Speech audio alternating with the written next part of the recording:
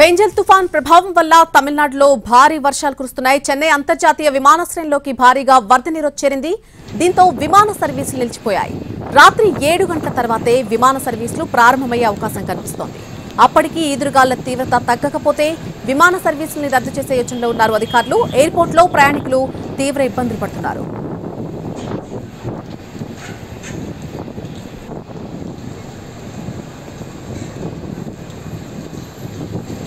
Fengal తుఫాన్ ప్రభావం వల్ల తమిళనాడులో భారీ వర్షాలు కురుస్తున్నాయి.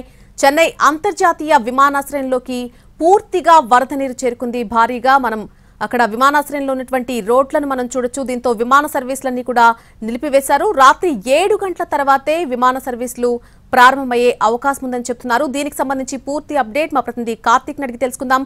కార్తీక్ సాయంత్రం ఏడు గంటల తర్వాత విమాన సర్వీసులు తిరిగి ప్రారంభమయ్యే అవకాశం ఉందా? ప్రస్తుత పరిస్థితి ఏంటి?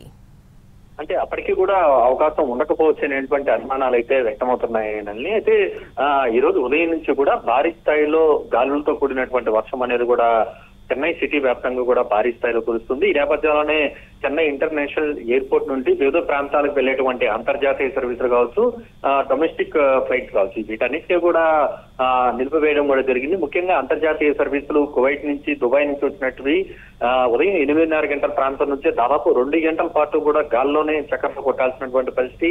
ఏమాత్రం కూడా ఏదైతే రన్వే పైకి దిగడానికి అవకాశం లేకపోవడంతో ల్యాండింగ్కి సహకరించకపోవడంతో ఈ రెండు ఫ్లైట్లు కూడా గాల్లోనే చక్కర్లు కొట్టాయి. అటు తర్వాత వచ్చినటువంటి విమానాలన్నీ కూడా ఇదే తరహా పరిస్థితిని ఎదుర్కొన్నటువంటి నేపథ్యంలో చాలా వరకు ఫ్లైట్స్ అన్నింటినీ కూడా బెంగళూరుకు తిప్పడం కూడా జరిగింది. అలాగా దాదాపు పంతొమ్మిది సర్వీసులను కూడా డైవర్ట్ చేసి అక్కడికి పంపారు. మిగిలిన ఇరవై ఒక్క సర్వీసులను అన్నింటినీ కూడా రద్దు చేయడం కూడా జరిగింది. అయితే ఏమాత్రం కూడా వర్షం అనేది కూడా ఆగకపోవడం దానికి తోడు గాలుల తీవ్రత అనేది అత్యంత ఎక్కువగా ఉండడం పూర్తి స్థాయిలో మేఘాలు కమ్ముకున్నటువంటి నేపథ్యంలో విమానాలు ఏమాత్రం కూడా దిగడానికి సహకరించలేదని చెప్పాలి. ఈ నేపథ్యంలోనే ఎయిర్పోర్ట్ అధికారులు ఇటు ఇండిగో సంస్థ కావచ్చు ఎయిర్ ఇండియా సంస్థ కావచ్చు అన్ని కూడా ఒక నిర్ణయానికి వచ్చి సాయంత్రం ఏడు గంటల వరకు కూడా ఎలాంటి విమాన సర్వీసులు అనేది కూడా నడపకూడదని చెప్పి నిర్ణయం తీసుకున్నట్టు పూర్తి స్థాయిలో వివిధ ప్రాంతాలకు వెళ్ళాల్సినటువంటి ప్రయాణికులందరూ కూడా ఎయిర్పోర్ట్లోనే ఉదయం ఎనిమిదిన్నర గంటల నుంచి కూడా ఇప్పటి వరకు కూడా పడిగాపులు కాస్తున్నారు అయితే ఏడు గంటల తర్వాత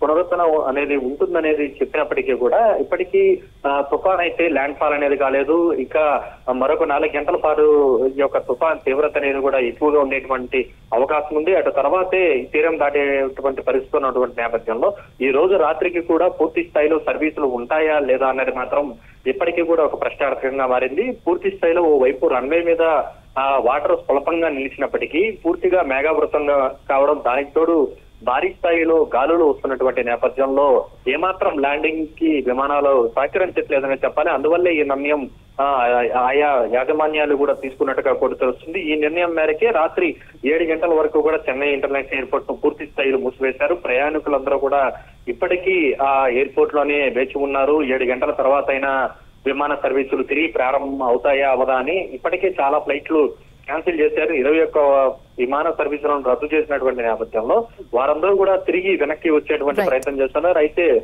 ఉన్న వారిని వెళ్ళేటువంటి ప్ర- ప్రయాణికులు ఎవరైతే ఉన్నారో వారందరికీ కూడా ఏడు గంటల తర్వాతే ఆ యొక్క నిర్ణయం అనేది తీసుకునేటువంటి అవకాశం అయితే ఉంది.